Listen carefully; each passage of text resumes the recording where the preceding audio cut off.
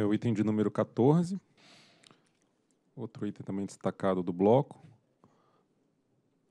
que se refere a recurso administrativo interposto pelas centrais elétricas de Carazinho, Eletrocar, em face do auto de infração número 29 de 2016, lavrado pela SFF, que aplicou penalidade de multa em decorrência do, do descumprimento de obrigações setoriais.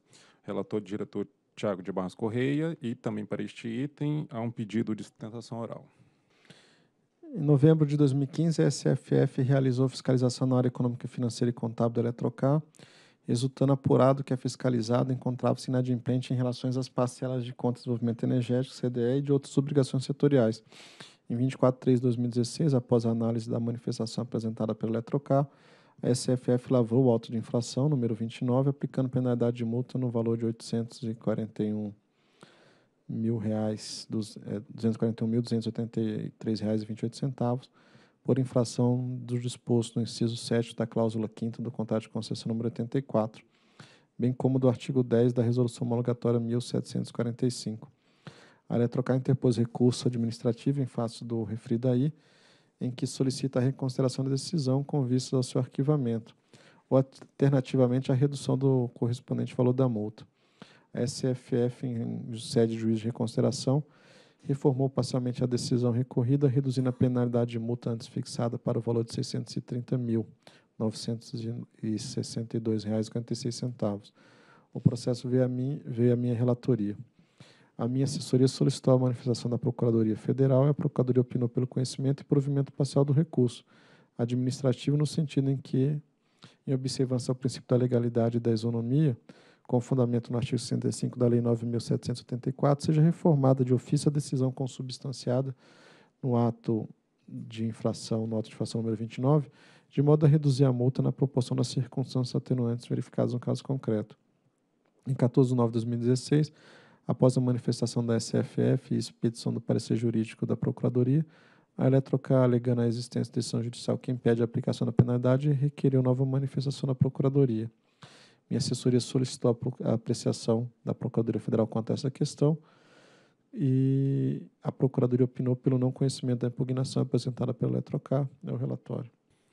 A sustentação oral será feita pelo senhor Yuri Almeida Belchior Ortiz, representante da Eletrocar. Bom dia, senhores diretores, diretor-geral, doutor Romeu, doutor Tiago, doutor André Peptoni, seu secretário, doutor Marcelo Escalante. É, o AI 29, né, o auto de infração 29, impôs multa pela inadimplência total do valor de 7 milhões e meio com a distribuidora Rio Grande Energia, RGE, na aquisição de energia. Os débitos com a RGE referentes às faturas de maio e junho de 2015, nos valores de 4 milhões 878 mil e 725 mil já foram quitados, conforme nós juntamos comprovantes no processo. Isso não foi objeto de apreciação na nossa defesa por parte da área técnica, da SFE. É, em relação à inadimplência com a CDE, no valor de 1 milhão 924 mil, é, inexiste tipicidade material em razão de decisão judicial liminar e sentença. Houve, senhores diretores, bis e também no que se refere ao débito de energia elétrica adquirida da RGE, que foi objeto de outro auto de infração. A multa aplicada foi excessiva e desproporcional. Passemos aqui detalhadamente. No não repasse da CDE, parte da inadimplência se deve ao não repasse da CDE pela Eletrobras, no valor de R$ 1.924.000, mil reais, cujo não repasse foi autorizado por decisão judicial liminar e confirmada por sentença de mérito. O argumento da Procuradoria é que a Eletrobras é uma pessoa jurídica privada, mas quando ela é longa-manos do Estado na gestão de fundos setoriais, quando o foi à época, é, ela age como um poder público. Então, não cabe é, a gente buscar esse interesse, esse prejuízo diretamente na pessoa da Eletrobras, porque ela age como poder público, sendo assim, isso é excludente de responsabilidade, ato do poder público. Então, nós entendemos que a inadimplência da Eletrobras, e nesses repasses, o que foi autorizado por decisão judicial que autorizou a compensação, nós entendemos aí que nessa parte aí, nesse ponto, há uma excludente de responsabilidade na aplicação da penalidade. A questão do bis idem, houve também uma confusão na análise técnica. No auto de infração 1015 de 2015, a motivação era o descumprimento da resolução é, homologatória 1566 de 2013, que fixou o valor da tarifa da Eletrocar com o valor da bolha financeira e o consequente repasse à RGE deste valor. Essa bolha financeira, senhores diretores, é o mesmo fato gerador que ocasionou essa inadimplência e também naquele auto de infração, que foi a determinação que uma pequena distribuidora construísse uma linha de transmissão cujo valor a ser aportado era 120% o valor do orçamento anual da distribuidora, o que é, causou um impacto financeiro enorme diante da Eletrobras não ter passado os valores da RGR dos contratos assinados. Então, houve uma inadimplência da Eletrobras na RGR, também fundo setorial, também longamanos do Estado, também ato do poder público excludente de responsabilidade. Então, todos esses fatos motivaram essa bolha financeira e, consequente, o repasse da, da da aquisição de energia, tendo a Eletrocar deixado de repassar aproximadamente 5 milhões, sendo multado por este motivo. No auto de fração 029 de 2016, por sua vez, o motivo é inadimplência setorial, e nele se inclui a dívida da RGE no valor de 4 milhões 878 mil reais, que caracteriza a gente tem de bis in. Onerosidade excessiva.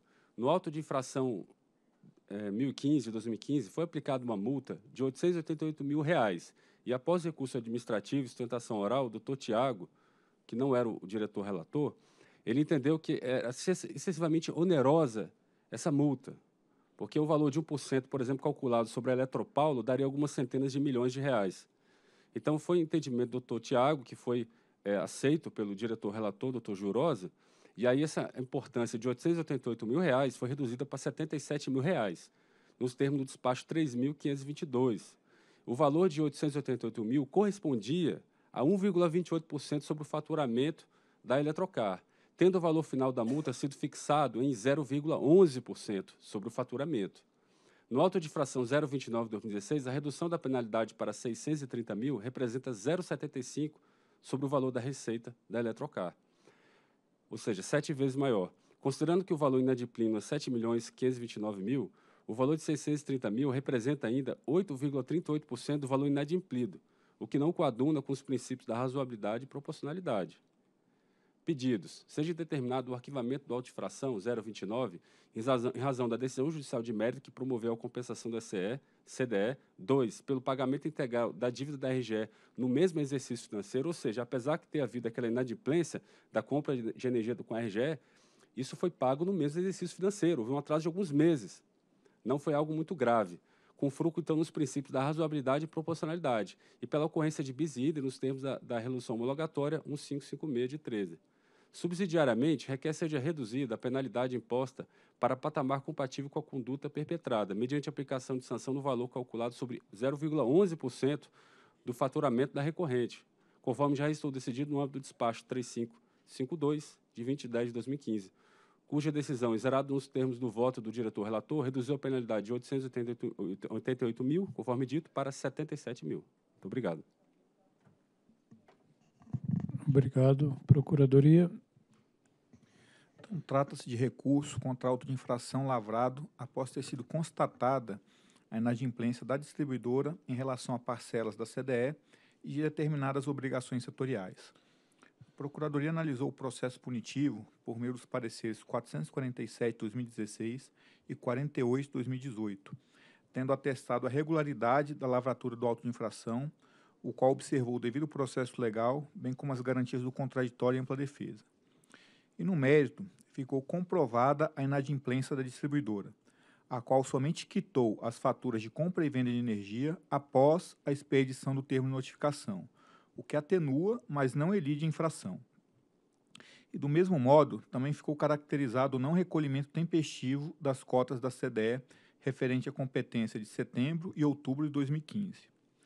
E no tocante ao fato da distribuidora ter obtido um provimento judicial permitindo a compensação de valores com a Eletrobras, a Procuradoria entende que tal fato não tem reflexo no presente processo punitivo.